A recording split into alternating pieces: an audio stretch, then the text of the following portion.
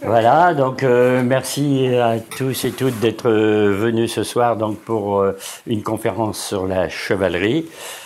Alors, bienvenue toutes les gentes dames et gentils messieurs.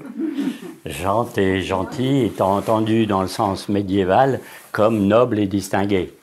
Hein, on disait gentes dames et gentils messieurs, ça, se traduit comme ça. Euh, voilà, puisqu'on va parler d'une période qui est surtout euh, le Moyen Âge. Hein.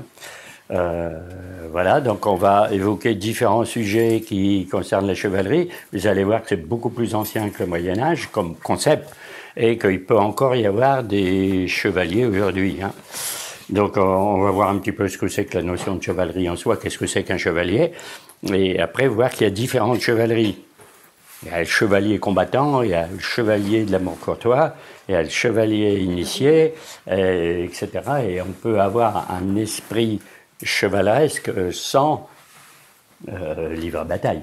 On livre une bataille euh, morale, euh, hein, si l'on peut dire. Donc on verra que ça a une utilité pour aujourd'hui, parce qu'on pourrait dire, bah, on va parler de la chevalerie, c'est purement historique.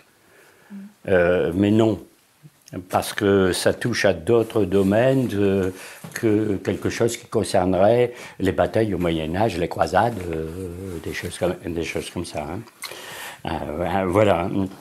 Donc, euh, pour, pour l'histoire, hein, en gros, qu'est-ce qu'un chevalier? Au sens propre, un chevalier, c'est un guerrier qui combat à cheval. Voilà, il y a les hommes de pied qu'on appelle les fantassins, a les mercenaires, a tout un tas de, combattants. Et le chevalier, lui, comme son nom l'indique, eh bien, euh, est à cheval. D'où ces fameuses charges de cavalerie que vous avez dans, les temps anciens, pas seulement le Moyen Âge. Hein. Vous avez eu du temps de Napoléon, eh bien, euh, il y avait toujours Austerlitz, par exemple les chars de cavalerie.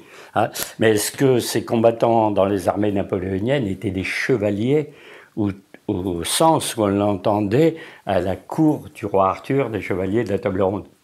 Ah bah alors là, pas du tout. bon, justement parce qu'il y a d'autres dimensions que le combat. Hein. Alors bon, comment est née la chevalerie? Pourquoi il y a une chevalerie? Alors si on fait un peu l'historique de la chevalerie, euh, ça remonte en fait des milliers d'années avant Jésus-Christ. Hein.